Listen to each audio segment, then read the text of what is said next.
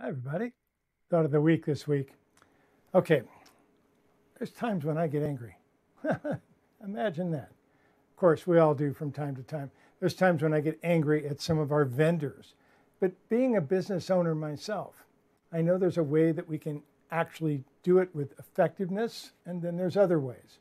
So let's talk about this for just a second, and I'll express the thought here from the week.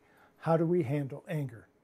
Well, the easiest way to deal with it is to express, to talk about expressing the anger. Yes, if I have someone who's angry at our business, I want them to express it. I want to hear about it.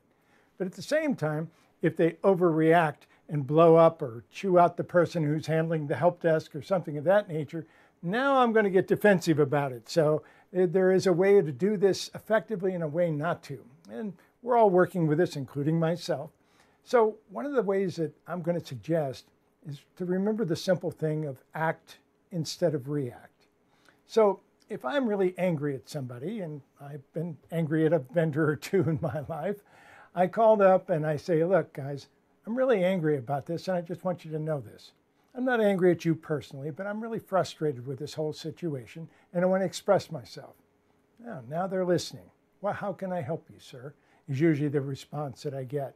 And then I'll explain the situation, explain what it, and they can come back and offer me options or anything else. But most of the time, I just got the opportunity to resolve the situation and express my anger.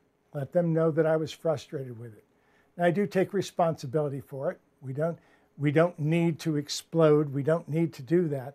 We need to act instead of react. And that's probably the biggest piece of it to know that we can do this in different ways. While we're still going to have anger in our lives, we don't necessarily have to make it be a problem in our lives.